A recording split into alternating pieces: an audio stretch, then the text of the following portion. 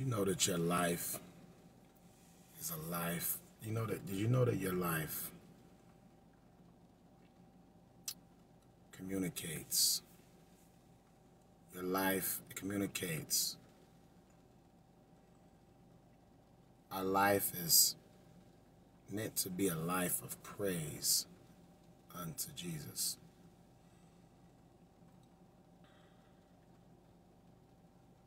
We learn how to make our life a praise by obeying the Spirit of God, by being where the Spirit of God is drawing us to be. And that's why the, the house of God is an important place for every believer to consistently be in.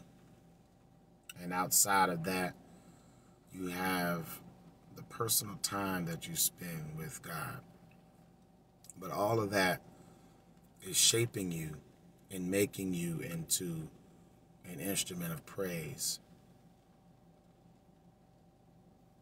It's making you a servant and a son.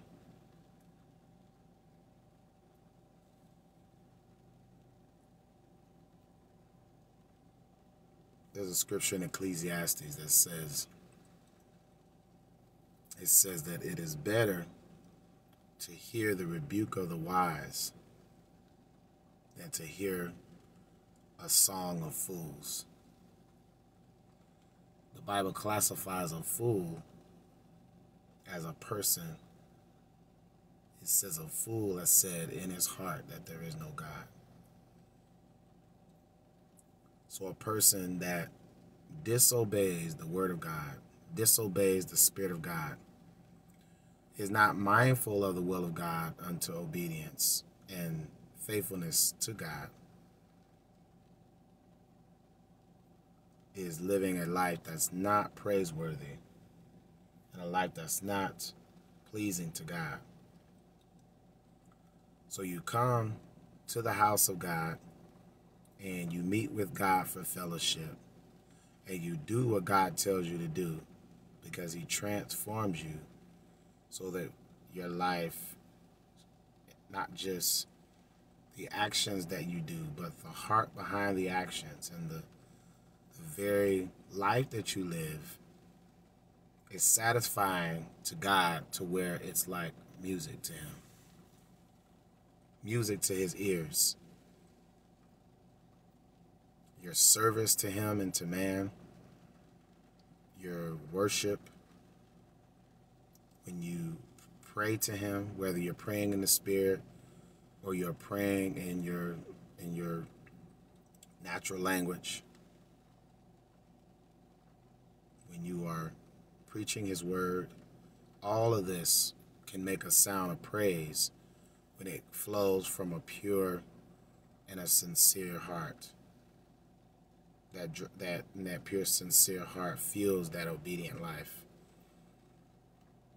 But you know that you're hearing a song of fools when you listen to that when you watch a person on TV or you watch a person on the internet or you go and join something and when you leave these people or if you were to do the things that they tell you to do then it makes you a fool.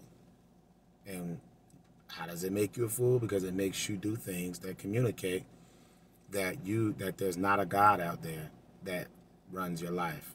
And that there's not a God out there that loves you and wants you to to obey him. So because God loved you first, he wants that love in return. And that love looks like commitment and devotion to Him. Learning about what it takes to walk with Him and endure with Him. To persevere as a because in your perseverance was a result of your focus and your understanding that going to Him, trusting in Him, and relying on Him for direction and instruction will always position you to be successful and to be what you are required to be. So when you intentionally listen to people who sing things to you, who minister things to you, because there are people that are outside of Jesus that are ministers. They're teaching you ways to get rich, they're teaching you ways to advance in your career, they're teaching you ways to be a more charismatic person, they're teaching you patterns of thought that can lead to more influence or whatever life endeavor you're you're currently on. When if you take what the person says and you apply it to your life and it doesn't make you more like Jesus and it actually makes you disobey Jesus, that's how you know you're hearing a song of, of fools.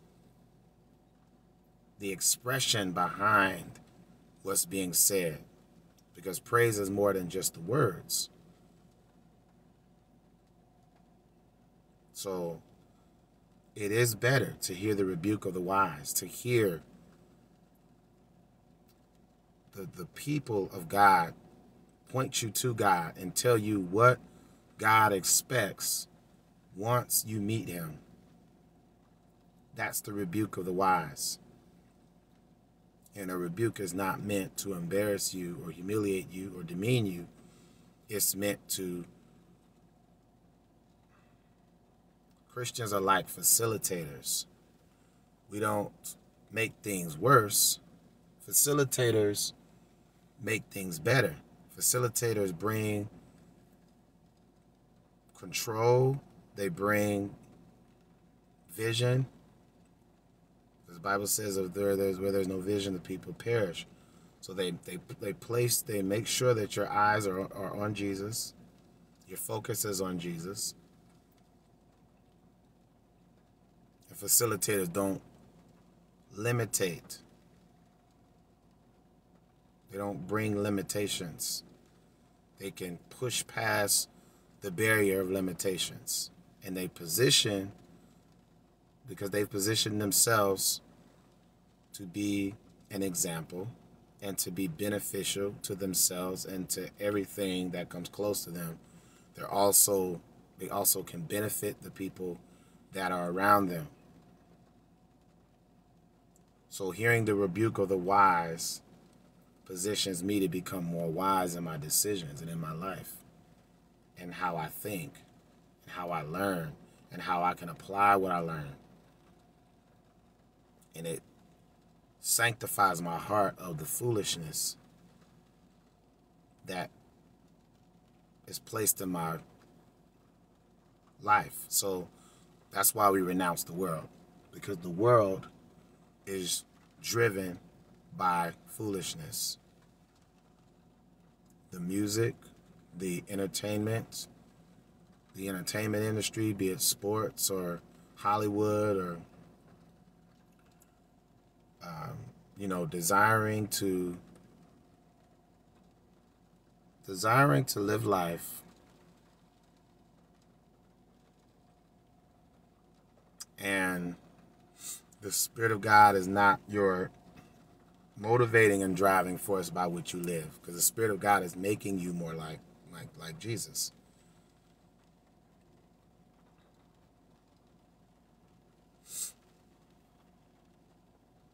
So it's important to know that there is a sound that we make to God. And He wants that sound to be a, a sound of glory, a sound of prayer, a sound of glory, a sound of holiness. Blessed is the man that knows that joyful sound. So, because the joy of the Lord is our strength, because Jesus is the light of our life, when Jesus takes over you and he makes you into a joyful sound, he changes you and, and then and then he becomes the light of your countenance. And that takes you away from the foolish life and mentality that drives you away from God and makes you an enemy of God. So the so the humble are always going to position themselves to hear from God, whether it's if it has to be rebuke. Because there's love that's in rebuke when it's done. When it's done by the Spirit of God.